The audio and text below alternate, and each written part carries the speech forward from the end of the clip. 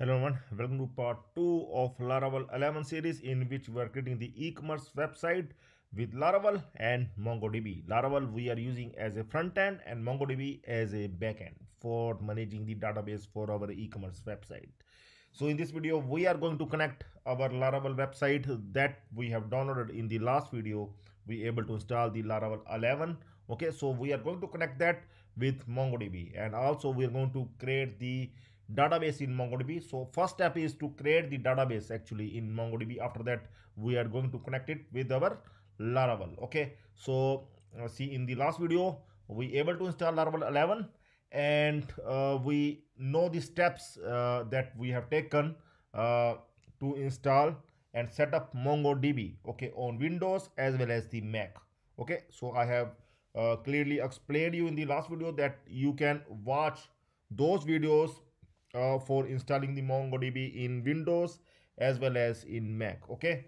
Uh, so let's come back to in this part. So please watch the first video. See if you have the issue, if the MongoDB is not installed yet, then you can simply add in comments that the MongoDB is not installed. Then I will help you for that. Okay. Uh, so first of all, we are going to create the database in MongoDB. So open the MongoDB compass and we can click on connect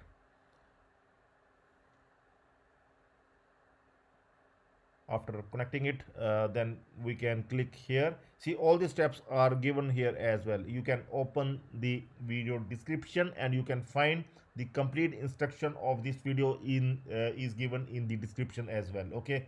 So these are the steps that uh, we are going to take uh, to create the database in mongodb in mongodb compass okay? And we are going to create the database with name project 11 okay? And after that we are going to install the package for uh, uh, for Laravel, MongoDB package for Laravel. Okay, but first of all, we are going to create the database in our MongoDB. Okay, so here from here we can you can click on this plus sign and can create the database here project 11 and uh, you need to give the collection name as well okay so here you we, we are going to give the test collection that we are going to delete uh, once the database gets uh, once we will import or once we will create the other collection. So we can delete this collection later on. Okay because it is mandatory to uh, create the collection as well. At least you need to create one collection along with the database in mongodb. Okay so we are going to create this database. So here you can see the the project 11 database has been created along with the test collection. Okay so see here in MongoDB, we used to call the collection. In MySQL database, we used to call the tables. In SQL and MySQL, we used to call the tables, but here in MongoDB, we used to call it as collection. And the collections are in JSON format. Okay. So uh, we are going to add the data in our collection. Uh, so uh, but first of all we are going to install the package okay so here i'm going to open once again so we are going to install the mongodb package for laravel okay? So this is the command that you are required to copy simply copy this command and uh, going to run for your project. Uh, i'm going to run this for my project. I'm going to uh, my XAMPP folder htdocs uh, project 11 i will right click here services new terminal at folder. And here i'm going to run this one this command composer require mongodb laravel mongodb. Okay? So it will take few seconds. Uh, and it will install this MongoDB package for our Laravel website, Laravel 11 website.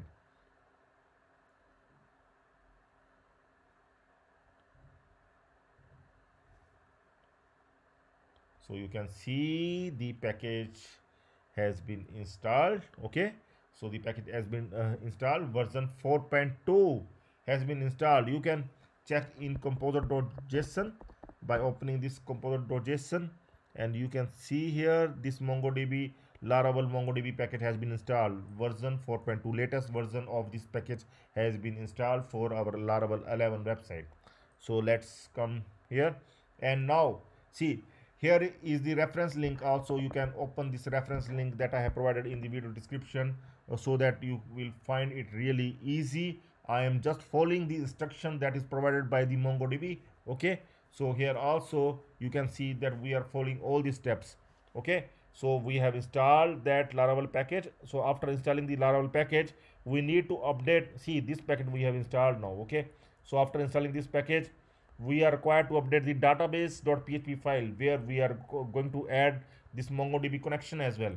So i'm going to open the database.php file in our project and here uh, while going down you can see the mysql. We generally use the mysql for all the laravel e-commerce series. We have used the mysql for making the e-commerce website in laravel 10 we have used the mysql as well.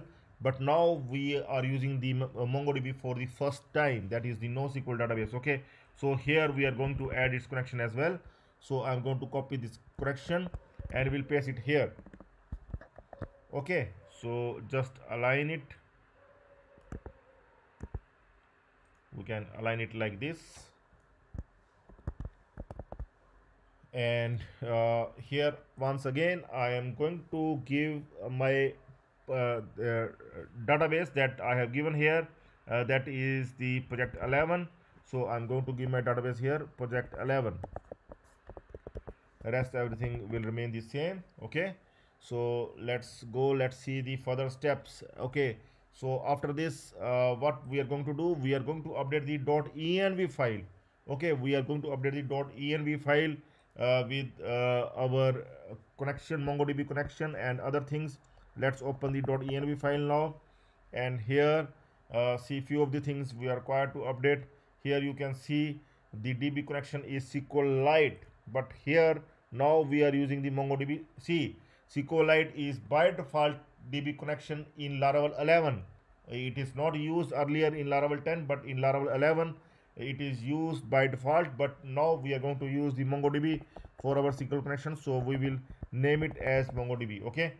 So DB host we can use the same one DB port. Yeah DB port we are going to change. See DB port port we are going to use uh, here uh, uh, 27017 here you can see localhost 27017 at the top.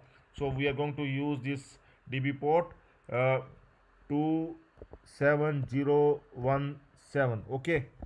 So uh, so db database uh, db database once again uh, that the database that we are using that is the project 11 and db username we are not using any db username so we will left it empty. And db password we are not using any password so we will left it as well.